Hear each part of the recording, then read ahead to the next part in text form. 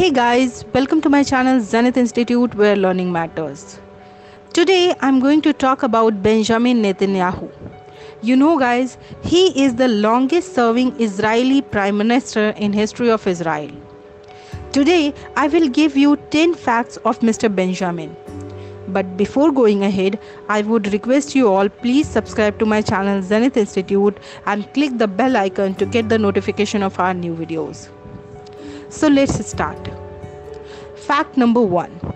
He was born on October 21, 1949 in Tel Aviv, Israel and grew up in Jerusalem. Fact 2. His father, Benjamin Netanyahu, was a noted Jewish historian who was worked as a professor. Fact 3 He spent most of his teen years living in Philadelphia area. In 1967, he returned to Israel to serve the Israeli Defense Forces and took part in number of military operations. Fact 5 he then returned to United States in the same year and went on to receive degrees in architecture and business administration from the MIT Institute. Fact 6 He became highly involved in international counter-terrorism efforts which helped launch his political career.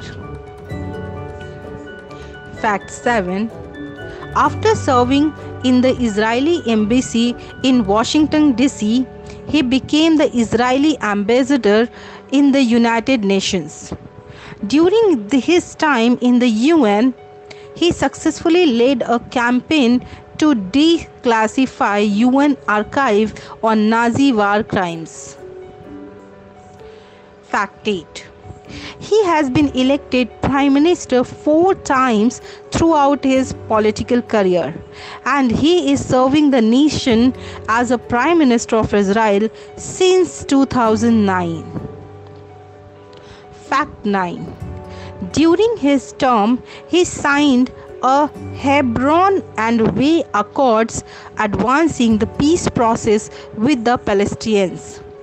He also expanded government privatization, liberalized currency regulations, and reduced deficits. Mr. Netanyahu says one of his biggest achievements in elevating Israel's status in much of the world by forging ties with world leaders such as President Trump. Fact 10 Prime Minister Benjamin Netanyahu to be prosecuted on bribery, fraud, and breach of trust charges. If Netanyahu is convicted, he could face up to 10 years in prison for bribery and maximum of 3 years for fraud and breach of trust. Apart from this, the Prime Minister has written and edited several books many of which are the subject of terrorism. So, guys, these are the facts about Mr. Benjamin Netanyahu. If you want to know more facts about other personalities, please subscribe to my channel Zenith Institute and stay tuned. Till then, love and peace from Zenith Institute. Thank you for watching.